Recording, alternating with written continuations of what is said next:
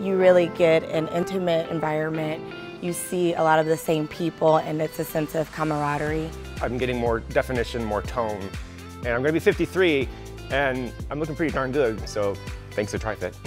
the trainers coach you specifically to what your needs are. There's just so much diversity here. Everyone's on the same level, and it's just great. Makes you feel like you're, you're a part of something unique. I've been going to TriFit for 13 years. Always have something new and challenging. Just a great environment to work out in.